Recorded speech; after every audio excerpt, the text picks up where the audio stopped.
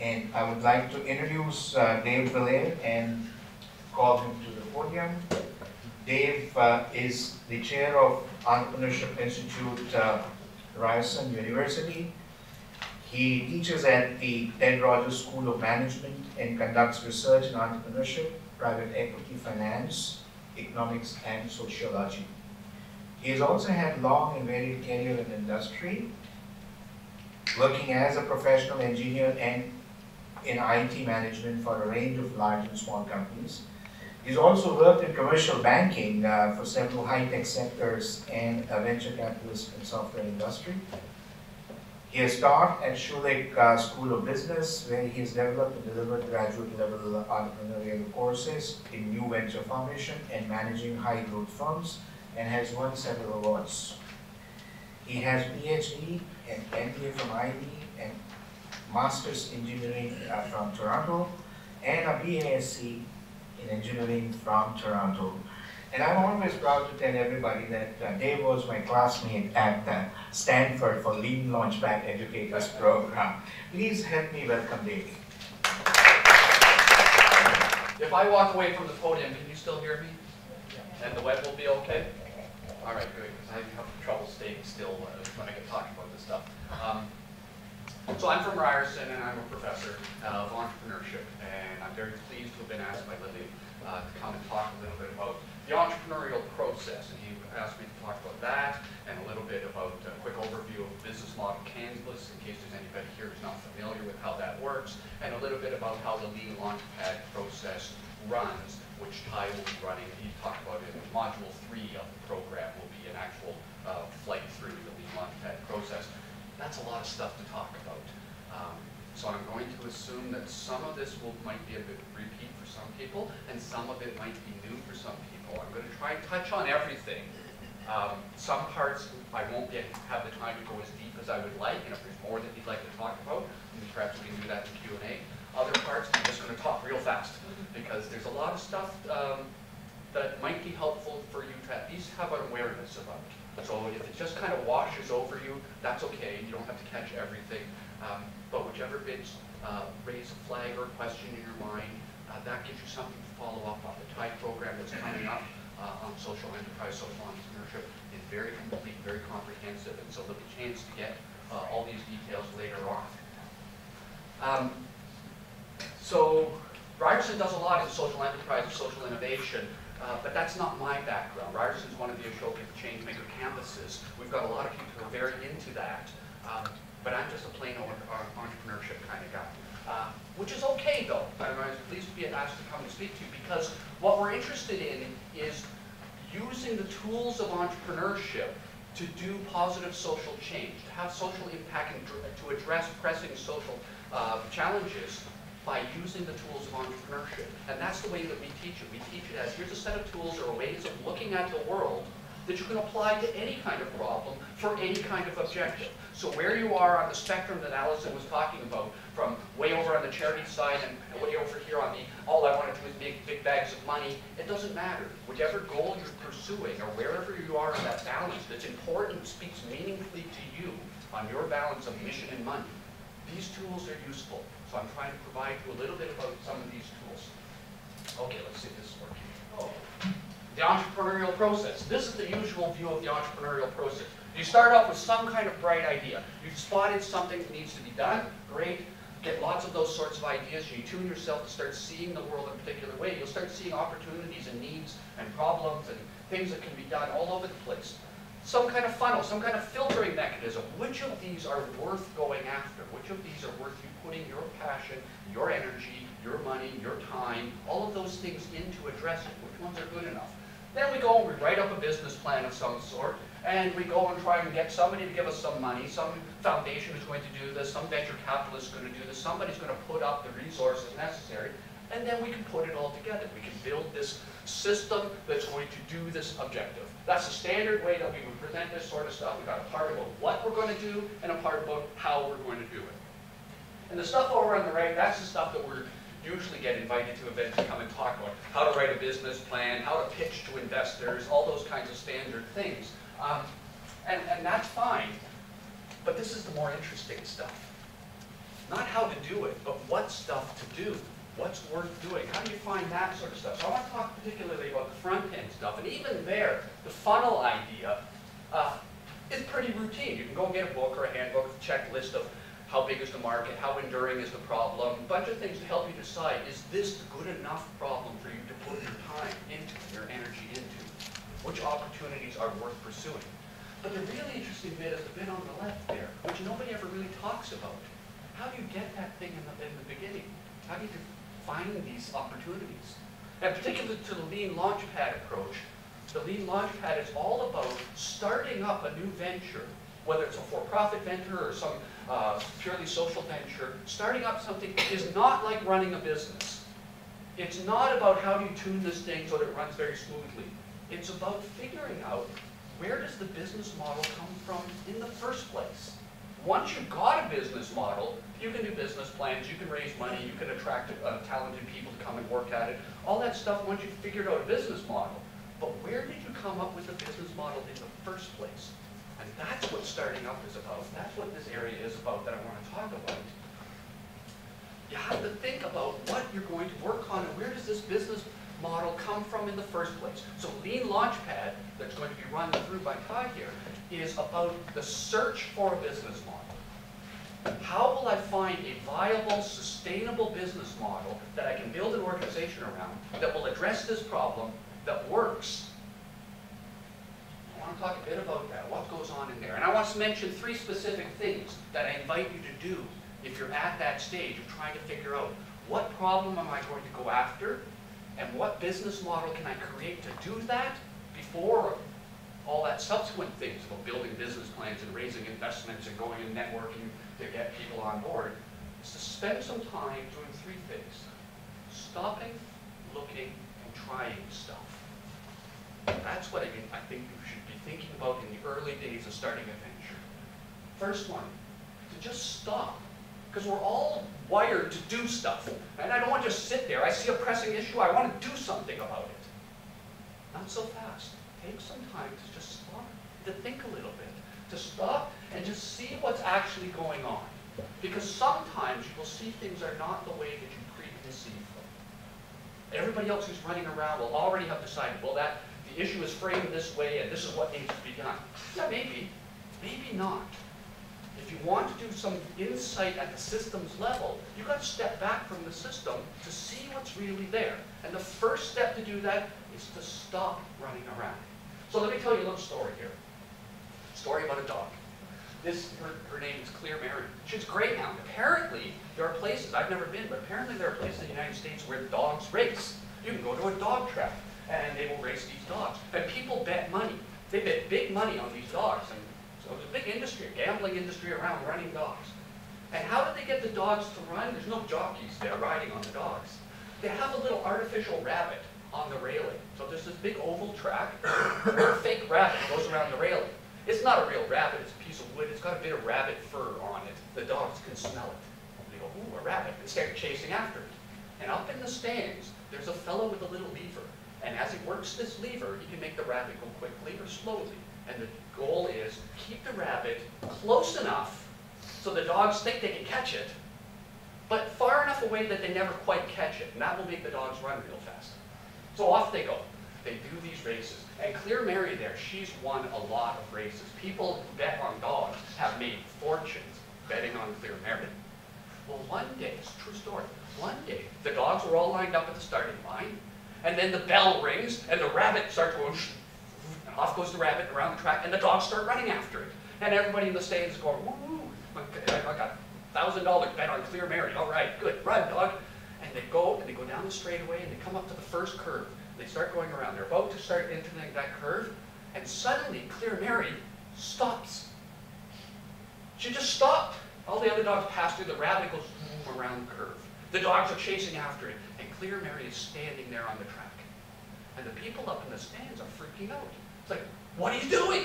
Run, you stupid dog, go! The dog is just standing there, and they're going around. And they're coming around the backside of the track. All the other dogs are running like crazy. Clear Mary jumps over the railing, runs across the grass in the middle, and she catches the rabbit. it's the first time ever a dog caught the rabbit. Of course, she was no good for racing after that, because she knew. She had stopped running. That was the first step you got to do. Stop running, see what's really going on, because it's not chase the rabbit. That's the first thing that I advise people who want to go down the entrepreneurial path, is to stop. Second thing, when you stop, look, see what's going on, see what's really going on, because it's often not what everybody says is going on, and it's not what you tell yourself is going on. So stop and look. That's easy to say, but how often do we really look, and how much time do we spend going around on autopilot, you know, just sort of whatever's going on, and just busy going through our lives without ever questioning what's really happening in this situation? So I'll do a little test of that. And I like to talk about rainbows, because I like rainbows. I think rainbows are beautiful. Has everybody here seen a rainbow? Right? There's nobody here hasn't seen rainbows. We've seen hundreds of rainbows ever since we were children. Rainbows. Oh wow, look at the rainbow. I still stop. I'm driving my car. I'll stop and pull over and look at the rainbow. Something that beautiful in the sky should not go unappreciated. So I look at the rainbow. We've all seen them, right? Have you ever seen one? That's different than just look at it. Did you ever see it? So I'd like to ask you, just with a little test, nothing at stake, keep your score private, but I'm going to ask you six questions about rainbows. Easy questions. Okay? Let's see how well you've ever seen a rainbow. Okay, ready? First question. What's the sequence of colors in a rainbow? Six colors in a rainbow, red, orange, yellow, green, blue, and violet. Yeah, which one is on the outside? Is that the red or the violet? Or is it sometimes the red and sometimes the violet? Have you ever noticed? First question. Second one. Is there any difference in the sky above a rainbow and below? Have you noticed? Third one. How many rainbows are in the sky at any given time? Is it always there's one, or there's two, or there's many? Or is it sometimes there's one and sometimes there's many, and if so, under which conditions? Have you noticed that? You've seen lots of rainbows, right? Next one. What size are rainbows? Are they always the same size, or do they sometimes you get small ones and sometimes you get big ones? Have you noticed? Number five, how high in the sky? What part of the sky, what time of day, what compass direction, where do rainbows show up? Have you noticed that? And the last one, do they end at the horizon? That's what we always see when somebody like, draws a rainbow, they draw it down to the horizon, pot of gold, right? Is that how rainbows actually look? Now you've seen hundreds of rainbows in your life. How many of the six questions do you think you got right? I'm going to tell you the answers. But just a little exercise for something where you've had many exposures to this. If you want to be a good entrepreneur, you might only get one exposure to see something. This is something you've seen many, many times. And right now, nothing is at stake. You're not betting anything on this. So you should ace this test. I'm going to tell you the answers. What color sequence? Red, orange, green, blue, and violet. Uh, yellow in the middle there. Red is on the outside. It's always red on the outside. Okay, good, no problem. Any difference in the sky above or below? There's a huge difference. The sky up here is dark. The sky down here is bright white. You've noticed that, right? How many rainbows? There's always two. Two rainbows. There's one rainbow, the primary one, and then a little bit farther out, about the size of your fist, there'll be a second one. It's much fainter, but it's always there if you know to look for it. And the interesting thing, its colors are reversed. The violet is on the outside. I see people nodding. We've got a sharp hmm. crowd here. What size are they? They are always the same size. There's only one size of rainbows. It's hard to talk about how big something is in the sky because it depends how far away it is. So we, we talk about how many degrees wide it is. Rainbows are 42 degrees wide. And the second one is 10 more degrees up there. Always the same size. There's no such thing as a big rainbow or a so, small rainbow. They're always the same. How high in the sky, what time of day, what direction? Rainbows always appear opposite the sun, right? The sun has to be in your back. You'll see the rainbow over there. Which means at noon, they're down there. You can't see them. The earth is in the way. Unless you're spraying the hose. It's summertime. Then you can see a rainbow around you. They're always opposite the sun, which means usually you see them when the sun is low, and you'll see them over there. And we usually have rain in the afternoons here, so it's usually sun is in the west. Rainbows always show up in will never see a rainbow in the north or the south. Makes sense, right? But did you ever notice that before? Last one, do they end at the horizon? Rainbows end where the rain and the sun end. which could be above the horizon, it could be even lower. If you spray the hose, you'll see rainbows all around on the ground.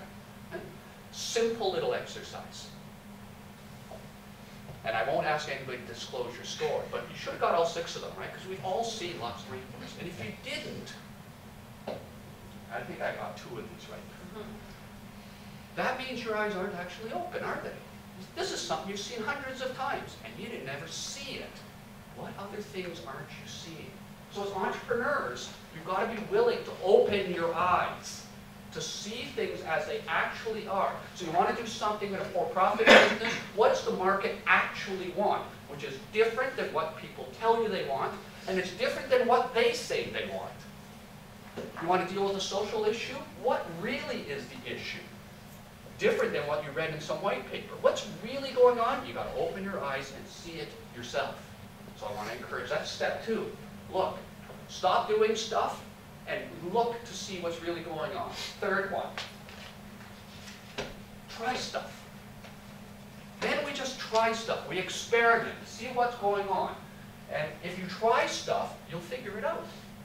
Provided you're willing to be, to be taught, the world will teach you. What things should I offer to my marketplace? Let me try. Hey, let's see if they'll buy this. They're not buying it. Okay, what about if we, uh, if we paint it gold?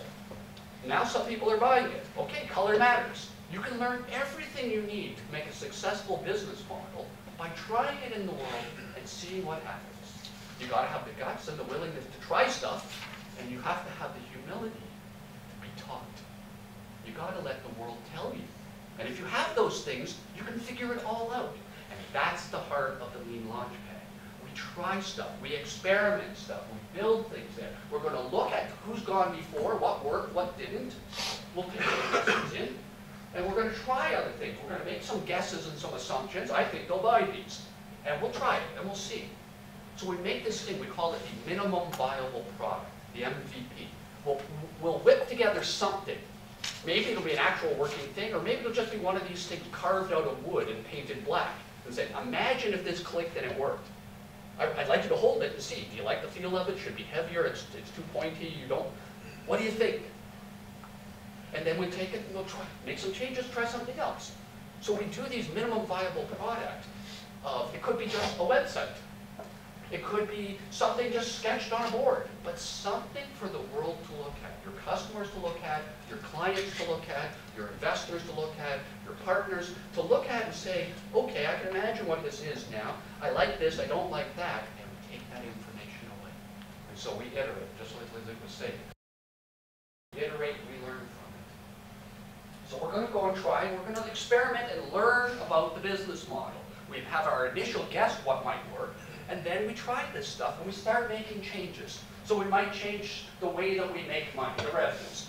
We might try stuff, we think, oh, how, how will people pay us? Maybe they'll, they'll, uh, they'll, they'll just buy it. There'll be a price. Or no, no, they'll subscribe to a service. Or no, they won't pay us at all. Somebody else will pay us. These will be our users, but the customers, the ones who pay us, will be these people.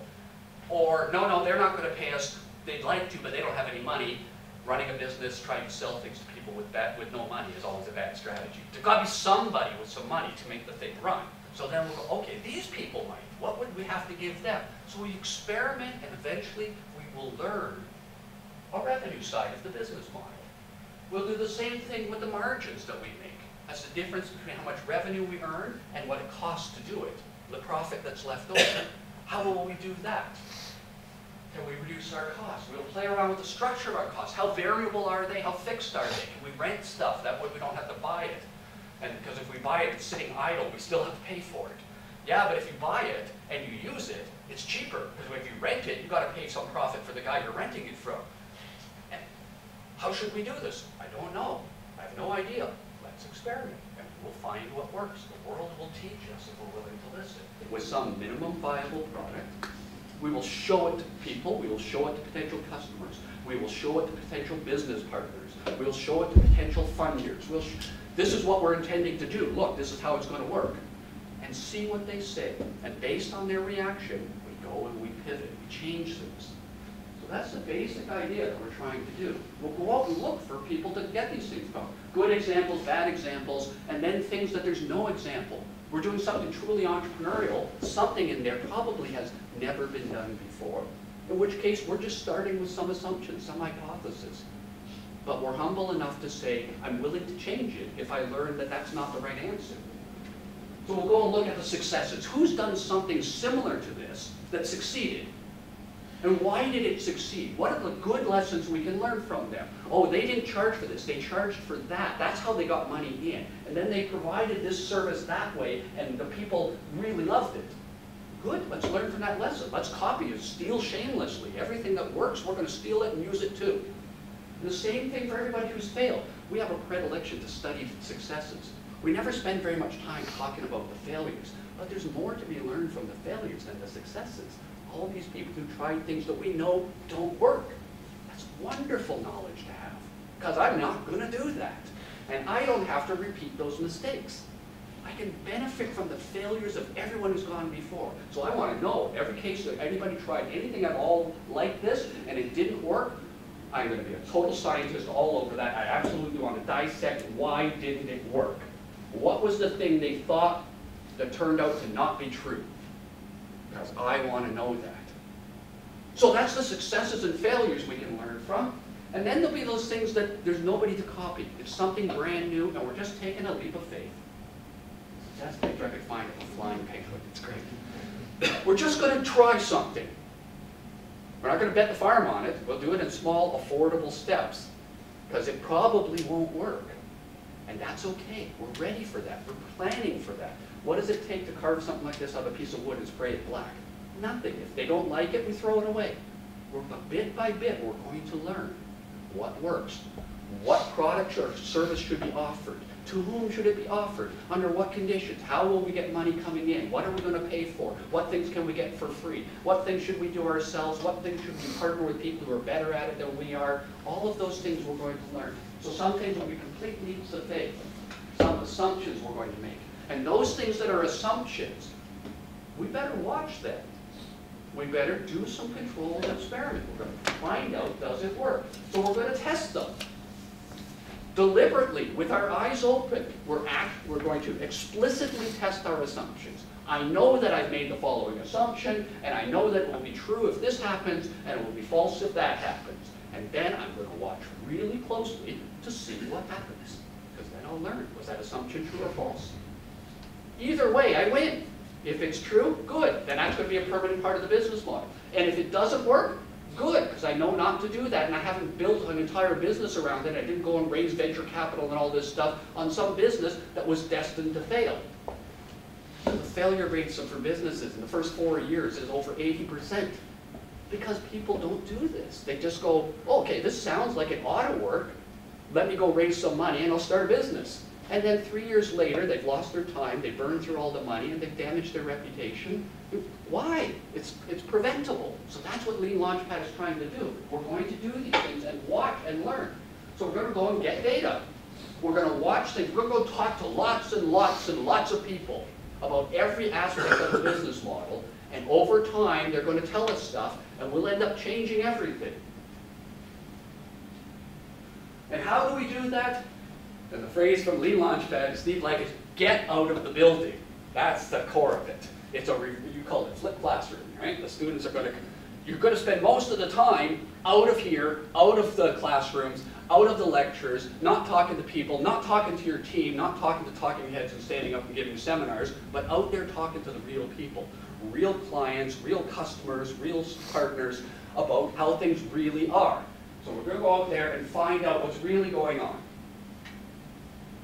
showing them stuff, showing them MVPs of one form or another. This is what my, my enterprise is going to do. Here, try it, see what you think.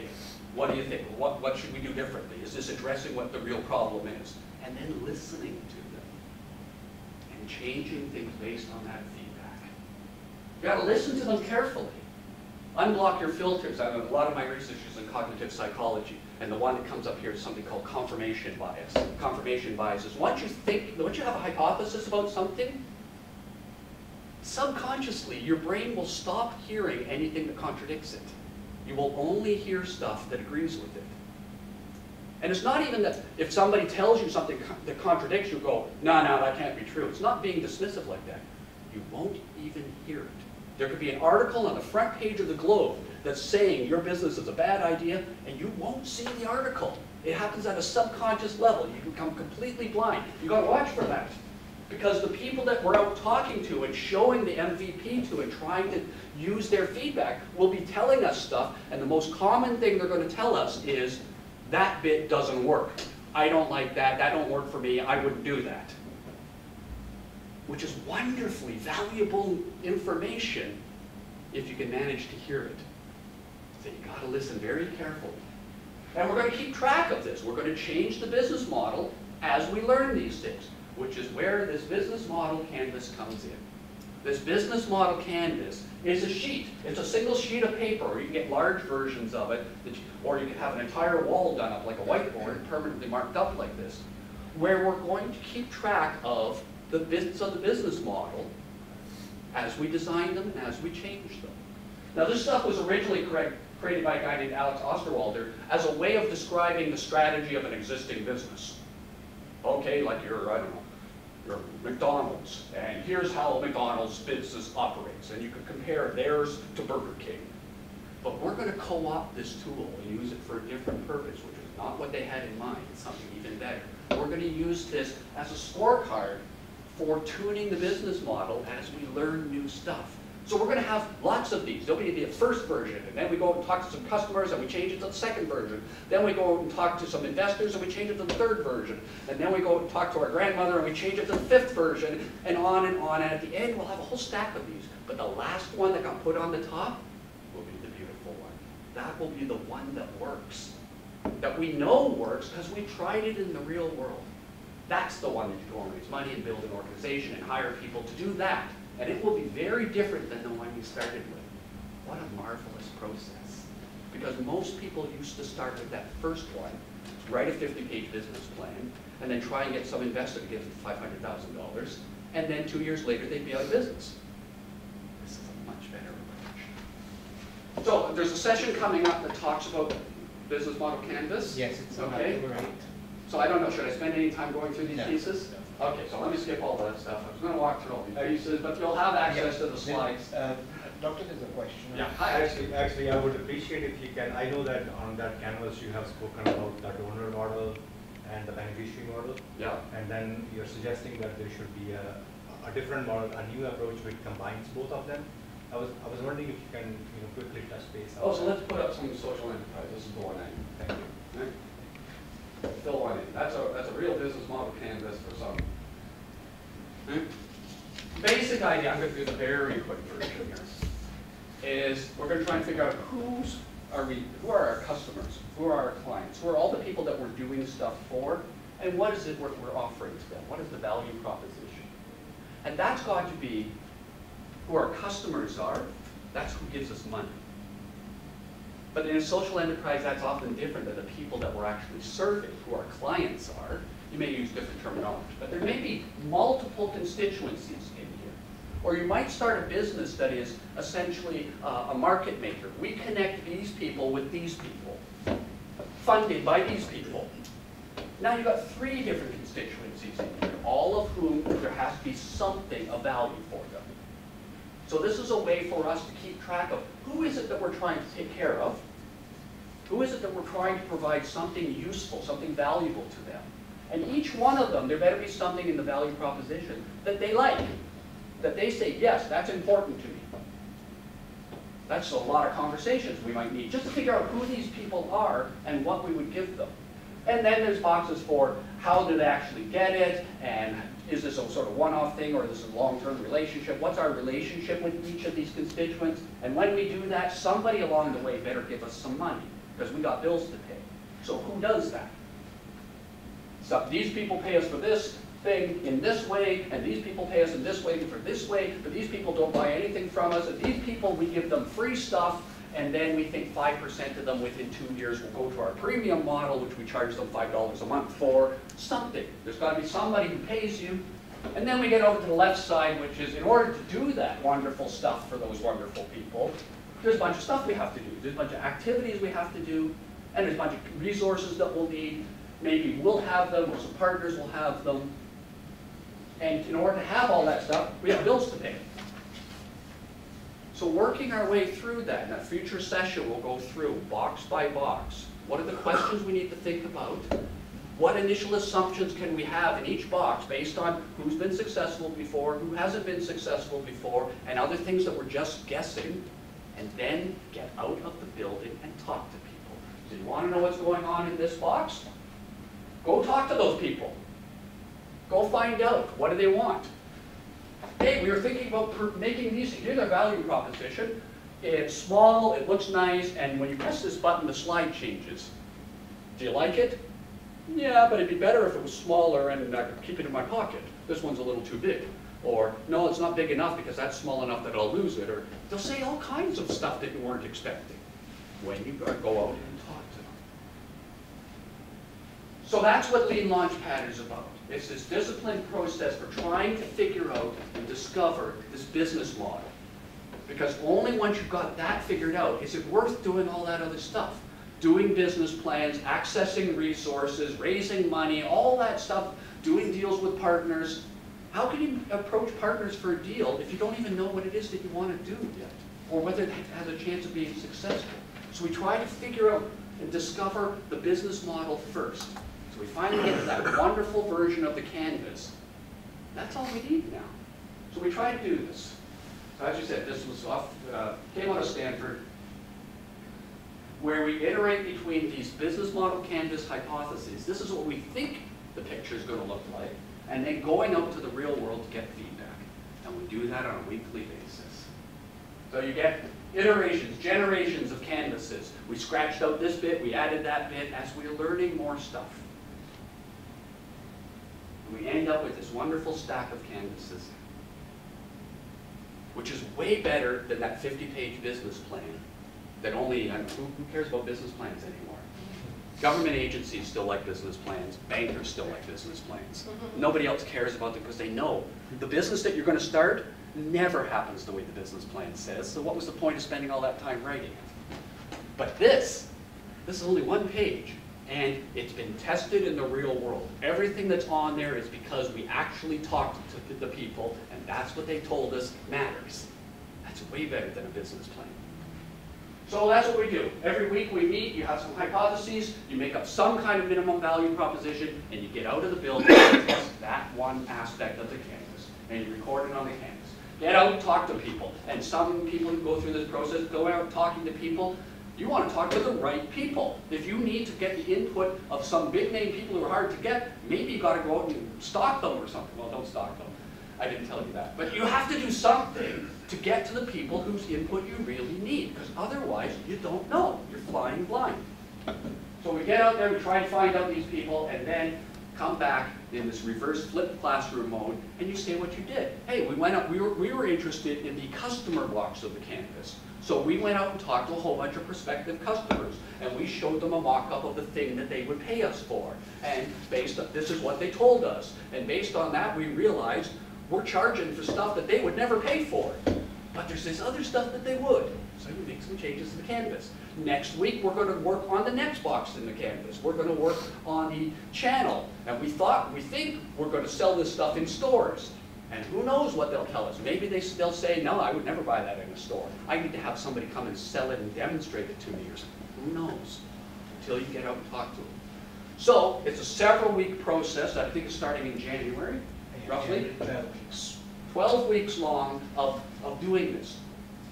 Having some hypothesis based on what you could learn from others, and then getting out and testing them, and changing it, and iterating it, and going out and talking to more people, coming back to have that final version of the business plan. So if that sounds like an interesting process, then the TiE Institute is here and running this free of charge, right? Yes, for, for youth, women and youth. Okay, so there's some, there's some uh, preferential access to this. It's a wonderful program. It's a great way of getting a new venture, something creative off the ground, and minimizing the risk because there's that high failure rate. So I, I know I went very fast, skimmed over a lot of things, but I wanted to at least give you a flavor of what this process that you're thinking of embarking down this entrepreneurial path, you want to have the benefits of these entrepreneurial tools to achieve this social purpose, that's wonderful. what does it actually entail? This is what it entails. This is what you're looking at doing. Going through this lean launchpad process until you get that business model that you know is gonna work, then you start operating. So that's all I want to talk about. Thank you. I'll take any questions if you have. Questions, please? Yep.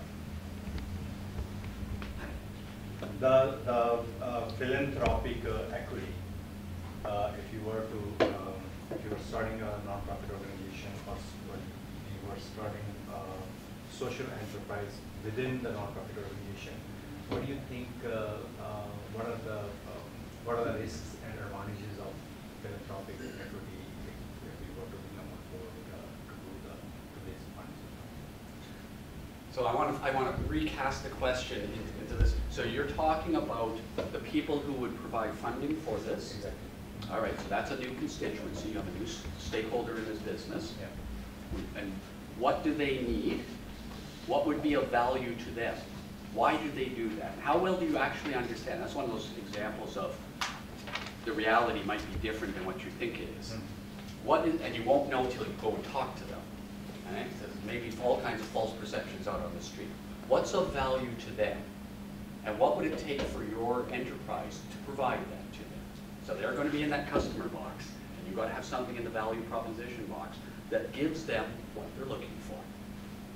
So I don't do things with philanthropic equity, but I do things with angel investors who put hard cash into businesses, ostensibly because they want to make a return on investment. But that's not really why they. This is, this would be a typical example of somebody who's a successful entrepreneur, they sold off their company, they're sitting at $100 million, and they're bored. And they'd like to, to do it all over again through some entrepreneur. So they said, fine, I'll give you $100,000 for your startup. What they really, want- of course they're gonna say, and I don't wanna make eight percent on this, about all, you know, financial return, but that's not the real reason they're doing it. The real reason is they wanna live vicariously through you. And so the value you give them is, yeah, you better produce a return on investment, because they're not fools, they get their money, they want a return on it. But what they really want is involvement. They want to be listened to, they want to share their advice, it's a wonderful thing that they're doing, they're getting a lot more money. But you have to understand that that's part of the deal. And so I better figure out how my business would run, that this person can have real meaningful involvement in this business. So it'll be the same thing with other people, like philanthropic investors. What is it that they want out of the business, and how would you provide that? So that's an example of, you gotta get out of the building, go talk to them. Go and talk to twenty of them, and you may discover something that you don't know now. So that's all, I think what I would advise. Can I just clarify that, within a nonprofit, you can only get a loan, right? You can't get invest, you can't get um, equity, that within a nonprofit, it's a non-share capital situation. So I- you're talking about impact investors? Yeah, I was, I was referring to like if you have a nonprofit organization and you're working towards a common cause, so that's your nonprofit organization, but within that nonprofit organization, it's like so many companies have done that. Uh, for example, Salvation Army runs their print stores, right? So you have a for-profit business Exactly. within the nonprofit Within the nonprofit umbrella, but Yeah. uh, again, uh, depending on Revenue Canada's guidelines, you know, right. if you are Very meeting those guidelines, right. you have to be very careful. Uh, So, so if you were to, let's say, uh, buy a building or buy some assets, so you bring one of these investors on board, they do a debt equity of uh, whatever nature of loans they give you. Uh, but then, then uh, you have to, you have to create a balance whereas you do not compromise with your core mission or your core Mm. Right? So my concern was like, uh, uh, to your experience, uh, are these venture capitalists, like, are they just looking for money or they, they will actually understand your cause as well? Yeah, You I wanna talk about it- social venture capital? I mean, yeah, want- there's a whole- There, there, there, there are, some investors will, will not be interested in that.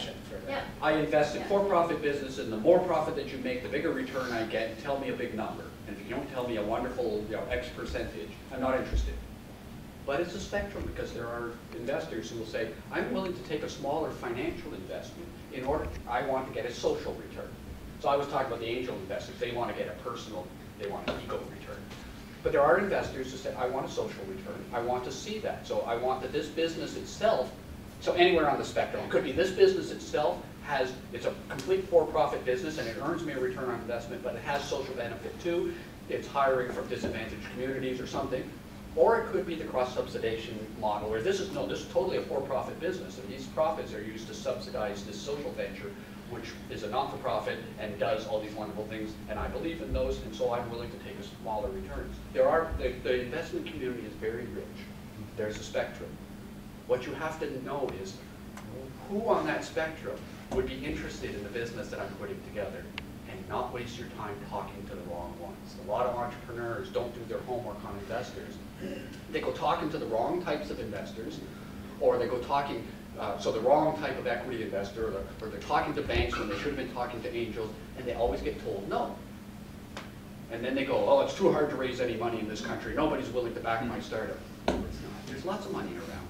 If you go to the right people with the right story. So in a case like that, yes, those people do exist, but you've got to make sure you find the right ones, and that you understand what they're looking for. What's your value proposition to them? Where is that trade-off between financial return and social return? And you have a whole session on social finance. Absolutely. They've got it all covered. Thank you so much, Dave, for giving us this glorious tour.